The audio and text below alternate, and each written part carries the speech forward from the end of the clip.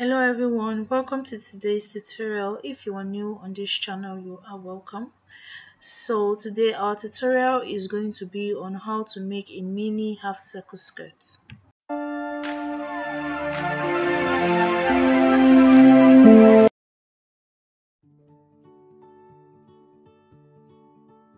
This skirt we are about to learn how to sew is very easy your material that you be need or your materials rather that you be needing is your fabric your ruler your scissors your chalk your tailor's chalk and definitely your sewing machine. So since it's a mini skirt we're making we don't really need much um fabric. We just need fa a fabric sufficient to accommodate both the waist circumference as well as the length of the skirt. So first of all what you're going to do is you're going to fold your fabric into two. Just fold your fabric into two not into four not into five just two. Please let's take a minute to understand some points before we go further.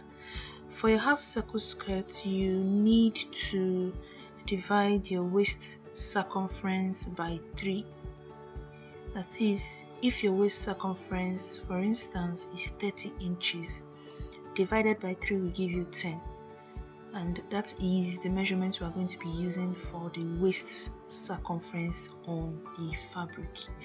So as I said we are going to divide our waist circumference by 3 the waist circumference that I'm using is 25 inches. So I'm divided by 3 using a calculator. It gave me 8.333 there is no 8.333 on my measuring tape. So I just made use of 8 inches instead. So if your own is giving you a whole number just use your whole number and we will explain how you can go further from there so please when you have folded your fabric make sure you have one open edge as well as one closed edge. So next thing we're going to do is to place our 8 inches um, measurement on the fabric. We're going to measure it on the two edges the open edge will measure 8 inches there and we also move to the closed edge and measure our 8 inches there so next thing we're going to do now is to begin to measure move the tape measure little by little and begin to measure the 8 inches from that tip all the way around to give us a circular shape. So just take it little by little till we get to the edge the other edge of the fabric. And then we'll just highlight the little little lines that we have marked so that we will know that this is our waist circumference. So next thing we'll do is to use our measuring tape to measure this circular shape that we have made.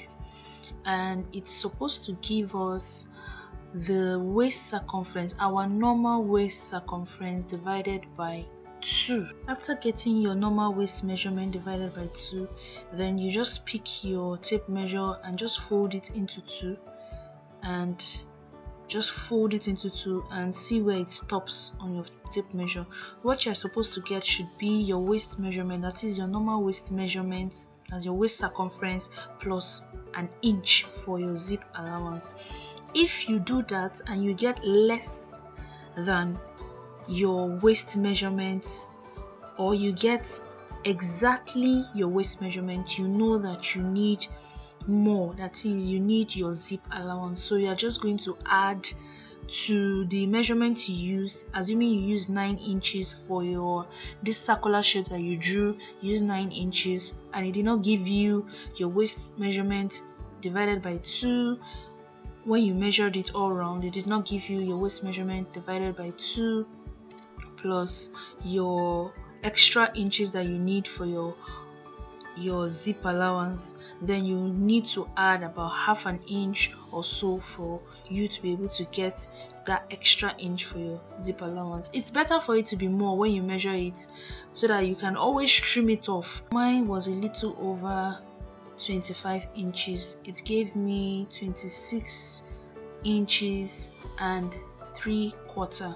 So i'm going to be trimming off the 3 quarter because it's just one inch i need for my zip allowance. So we're going to be moving over to the length of the skirt. And remember that it's a short skirt that we are we are going to be sewing. So the measurement or the length of the skirt that you have taken should not be below the knee or on the knee. Should be above the knee so the measurement i'm using is 15 inches as the length of the skirt. What you will do is to just place your tape measure on the line that you have already drawn which is supposed to serve as your waist circumference. You place your tape measure starting from that point and then you begin to measure your length of your skirt plus your folding in allowance. You can decide to use one inch. I used one inch. You can decide to use one and a half inch just depends on you. So you begin to mark it all round to meet the other point i'm measuring 16 inches all the way to the other edge of the fabric.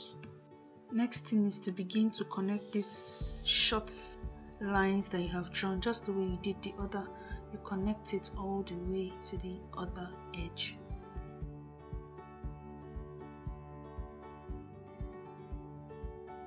Next would be to cut it off from the remaining fabric.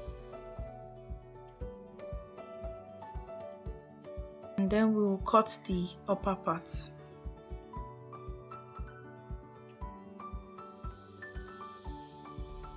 so you could just remeasure it so that you could confirm what you'll be cutting off. And then just mark the extra all the way down and use your scissors to cut it off. So just keep this aside and move over to the band because we'll be needing a band for our skirt so now it just depends on the size of your band.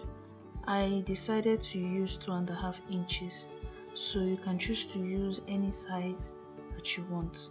But shouldn't be less than 2 inches. If it's less than 2 inches it will not really bring out the beauty of this skirt so I'm going to be using two and a half inches.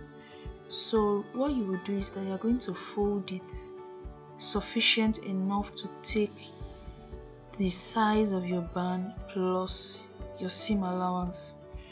Assuming the band you are using is also two and a half inches. That is the width of your band is two and a half inches. Please you add half an inch to it. So your total width should be three inches. So you could just mark it all the way.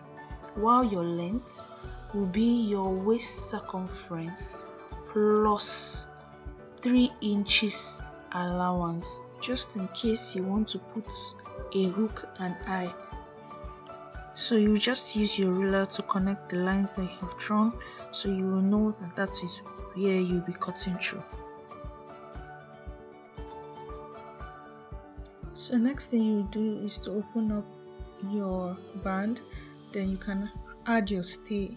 Whichever stay you're using hard stay soft stay medium stay hair stay just depends on what you want. So me i'm going to be using hair stay. So as you're pressing it you see those two edges of your band you fold it by half an inch and make sure that you use your iron to press it. Just indicate that the half inch is your seam allowance. So back to our skirt what we're going to do is that we're going to measure 8 inches from our waist point. We're going to use a loose stitch to sew to that 8 inches. Then uh, we're going to back stitch at that 8 inches point. Then use our normal stitch to sew it to the end.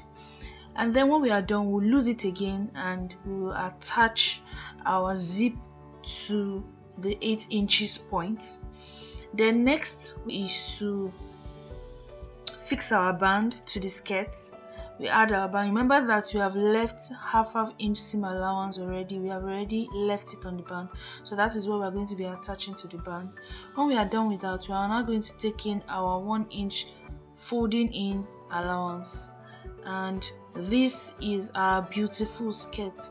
I hope you were able to follow through this tutorial. I would advise you watch it again before you start to do yours. And i hope this tutorial was helpful. If it was please don't forget to subscribe like this video and also share it. And see you in the next video. Bye